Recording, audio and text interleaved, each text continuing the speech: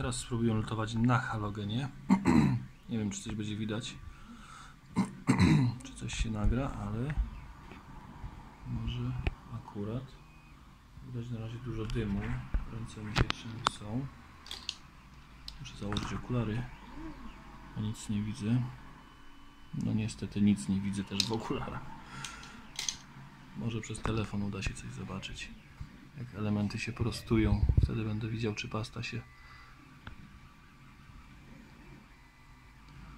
rozkłada. O, teraz coś widać.